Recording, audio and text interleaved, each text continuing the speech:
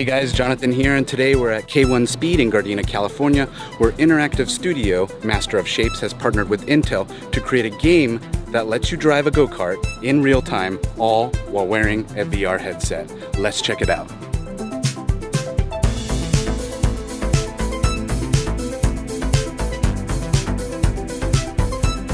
Built on top of a 190 foot by 160 foot K1 speed racing track, this VR racing game has you driving a real go kart through a virtual reality world.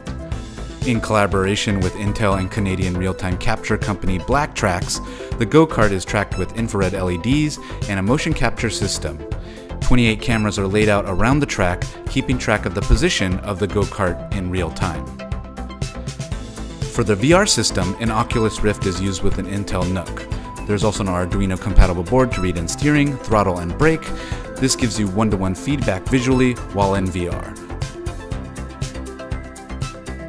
So when you turn the wheel in real life, you turn in the virtual game too. To make sure that the real world track lines up with the virtual one, the team LiDAR scanned the entire track. And when it all comes together, you have one badass VR go kart game. The game itself is meant to look like a post apocalyptic Tokyo. There are power ups that give the kart a real life boost of speed, and there are speed bumps that you must steer to avoid. The entire project took about six weeks to build and is currently being tested at this K1 speed track.